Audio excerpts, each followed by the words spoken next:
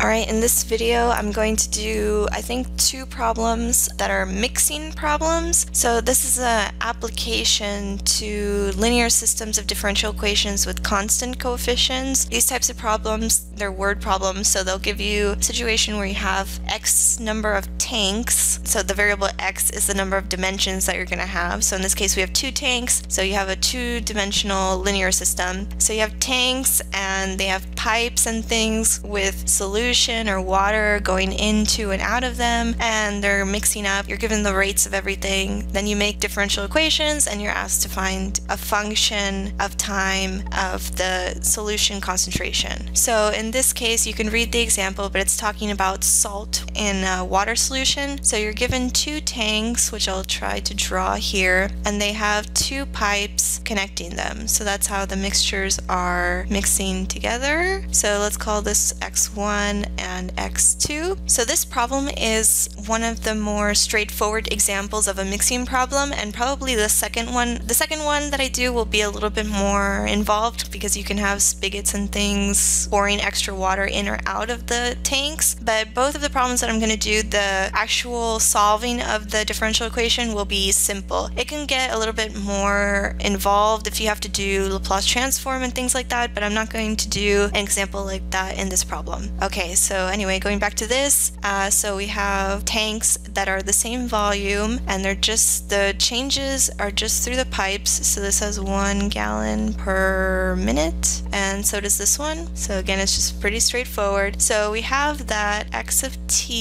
For the first tank, it has 100 pounds of salt and the other one has zero. So actually this is x of zero. Now we're ready to, and we know the rates. So now we're ready to write the differential equations. So we'll do the differential equation for tank one. So the way I do this is you just, you're given uh, the salt, the chemical, that's going to be your x. So that's what you want to focus on. You have also the concentration, which is what you're asked to find. So the concentration will be the amount of salt over the volume, which in this case is 500 gallons in each tank. So for these problems, the rates of change will be the concentration times the rates that the change, the concentration is moving in or out. So for the first one, it's going to be, we have a concentration x2 over 500. So this, we know it's zero, but we're just trying to find the equations first, so we're not plugging in any numbers, so we're just calling x2 the amount of salt in the second tank, and that's going into tank 1 at a rate of 1 gallon per minute, so times 1. And we know that we have solution from tank 1 at the same time leaving tank 1 to tank 2 at a rate of 1 gallon per minute, and that's going to be x1 over 500. So that's the differential equation for the first tank. Differential equation for the second tank is going to be basically the same thing, just reversed. So we have one gallon per minute coming into tank two from tank one. So this will be the concentration there. And we have one gallon per minute of tank two solution leaving tank two.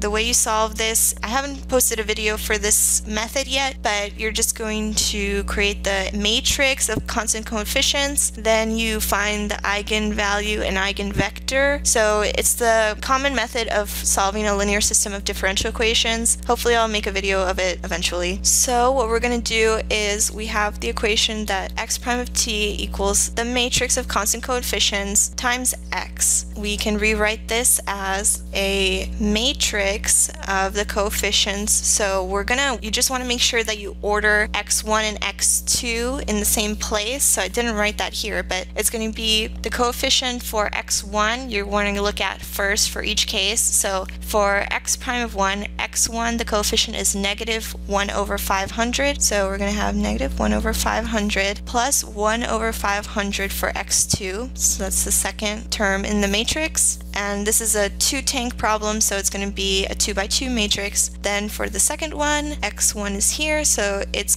coefficient is 1 over 500. It's symmetric in this case, again, because the rates are the same and the volume is, stays the same. So the second term is that x2 leaves at 1 over 500.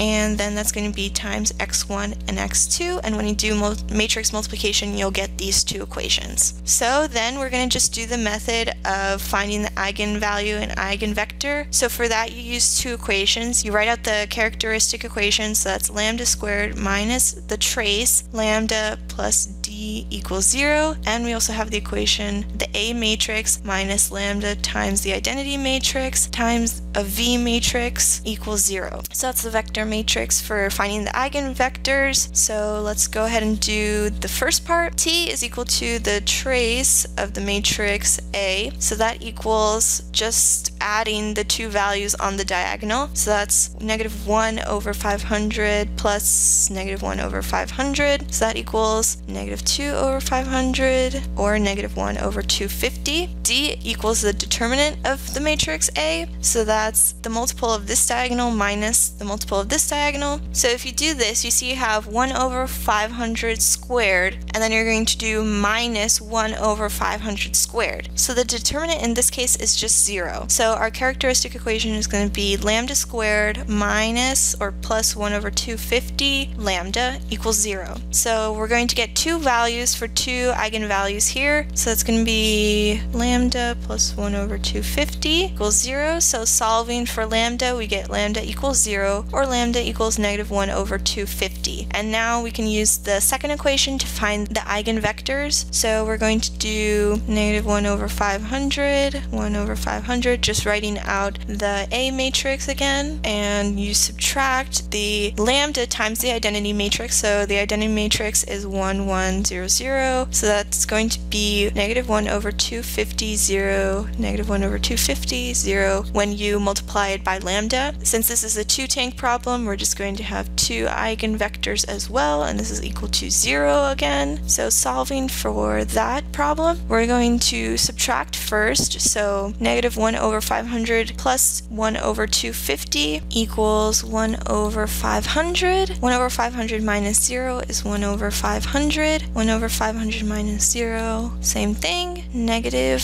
1 over 500 plus 1 over 250 is the same as the first one. So we have just a matrix of 1 over 500. V1, V2 equals 0. So just looking at the first equation, we have 1 over 500 times V1 and then just doing matrix multiplication plus 1 over 500 V2 equals to 0. So that means when you have 1 for V1, it's going to be negative 1 for V2 to get equal to 0. So now we have for lambda 0 the eigenvalue and the eigenvector for one equation. Oh, this was actually negative 1 over 250. So now you can do lambda equals to 0, which is even easier. So that's going to be, again, the same thing, rewriting the A matrix. That was minus 0, which just gives you the same matrix. And then you can do times v1, v2. So in this case, we're going to have the equation negative 1 over 500 v1 plus 1 over 500 v2 equals to 0. So in this case, the vector, if you plug in 1, you're going to get 1 for v2 as well. So now we have enough information to write the general solution for the equation for figuring out how much concentration you have of salt. So the amount of salt x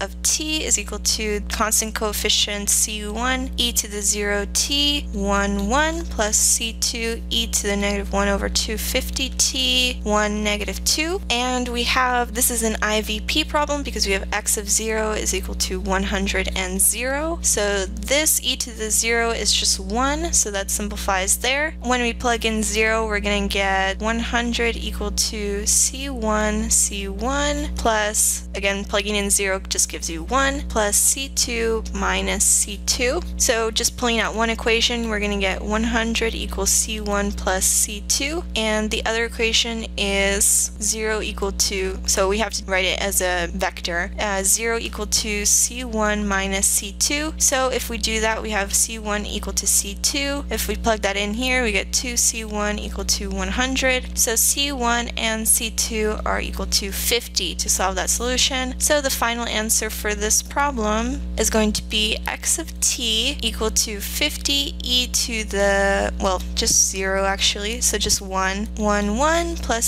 c2, which is 50 e to the negative 1 over 250 t 1 negative 1. And that's your final answer. And then if they ask you how much concentration of salt will be in the tanks at time 30, after 30 minutes, you just plug in t equals to 30 to the equation, and that's how you get that solution.